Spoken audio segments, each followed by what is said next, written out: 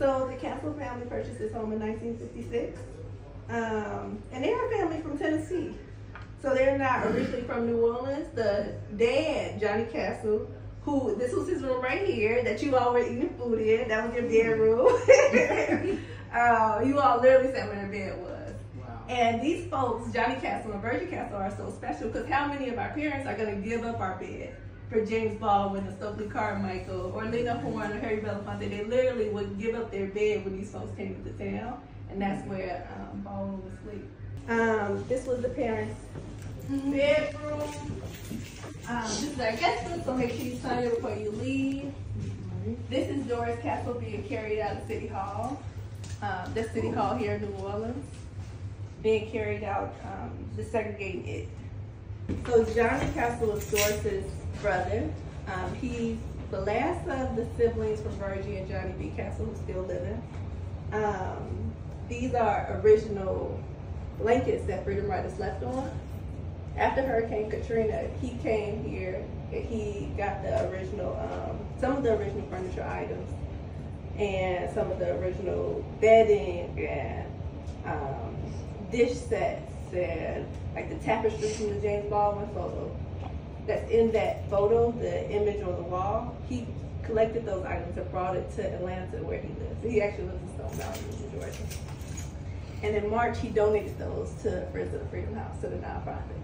So it's almost like these original items. I have been coming back home this year. I've made two U-Haul trips to Georgia this year to bring these items back.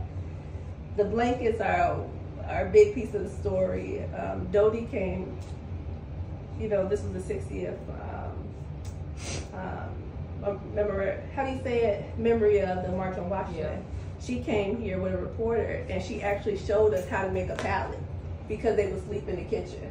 They would sleep in the kitchen and they would sleep under the table. Uh, five or six of them. So she showed us that there was a science to how they all, with six people, Not I sleep want you that to do, kitchen. show me how they were doing it. And she literally did that so I could show young people, you know? Okay, I want to touch all of it. So this is one of the most precious items I feel like we have here. It's the original kitchen table, um, which has found its way back home. I love it because I feel like it's just so historic.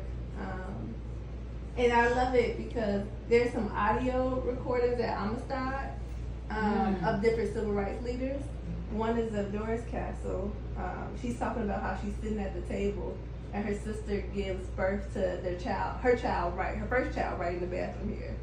Um, so yeah, just so many people, so many things, so many. I mean, freedom riders slept right here on this floor. So, yeah. Maybe they was cooking that good food that they was talking about. Birdie Castle was an amazing chef, and I'm so excited. Another trip I'm making to Georgia is her original pots and pans are coming back because we want to like, you know, as we develop this museum, we want to tell all these stories. Uh, so we'll be able to use these actual items, right, that she used to cook. We back outside. Oh, so peaceful. Oh my god. Oh, yes. Such a nice little back area. Yeah, and Johnny um, B, the dad would sit right here on these steps. And late to late nights, he would come in because he was a longshoreman and also a cab, uh, taxi cab driver. He would sit right where you're sitting, and he would talk to you.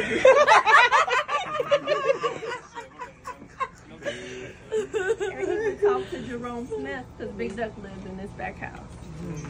So some things we're excited about is we're getting a mural done here. It'll be right here on this um, brick wall. Big Duck told a story about safe houses in the South and how pivotal they were.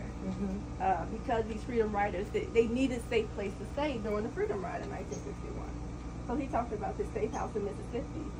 And an artist from Big Duck's memory, he lost this picture in Hurricane Katrina. We're in the middle of drawing up the composition.